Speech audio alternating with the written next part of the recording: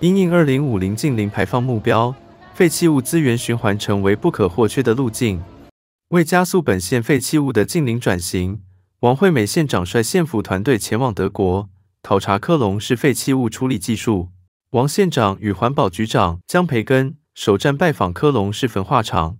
目前，科隆市焚化厂配有先进的前处理设施，不仅提升能源转换效率，并设有五阶段空气污染防治程序，使得污染排放值远低于欧盟标准。这些经验特别值得彰化学习。公益频道。综合报道。